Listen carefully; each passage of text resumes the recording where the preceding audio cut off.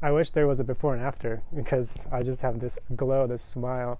My name is Frankie Periscano. I'm from Denver, Colorado, United States. When I first got here, um, I felt very dull. I felt like I was very fatigued of life.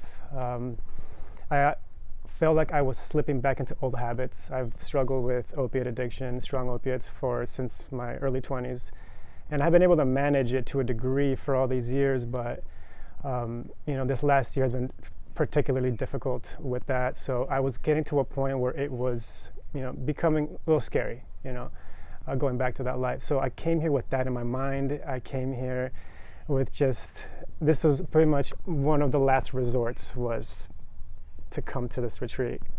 Um, and you know, being here, being in this land has been just so rewarding. Um, the medicine just gave me a new perspective. It gave me energy. It gave me just, uh, I feel refreshed. I feel like I, I, came and I got reset in some way.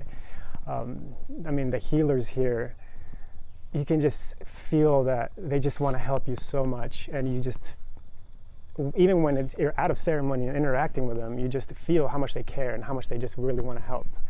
In ceremony, they're just so powerful. They are just such great teachers that I really had a hard time processing, you know, how much, how good they are at their craft. So that was just on its own, just amazing. Um, the medicine, it was just so powerful and so connected with the land, it felt. Um, so I can't be more grateful, honestly, to Nimea Kaya for, for all of you, for the team here.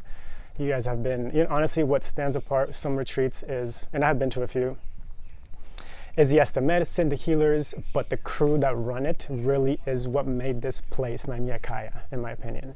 And it was just outstanding. The way you guys put everything together, the way you, you check in on everybody, but also give us space. You know, it was just perfectly balanced. It very so natural in the way that things were done and the way you guys incorporate you know the activities in yoga breath work that was something that i haven't experienced before that really made just such a big difference so i live here with so much gratitude so much appreciation to all of you really all of you amazing amazing amazing work uh, i do feel refreshed i feel excited to to go back and, and, just to connect with my family, my friends, and then just to go after the goals that I put aside. And those feel just in the forefront, and they just feel so alive. They feel so just attainable.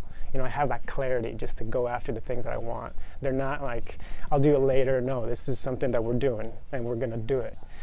Uh, so, again, uh, smile. You know, I can't help this smile. Uh, so much appreciation. Thank you so much. Thank you all.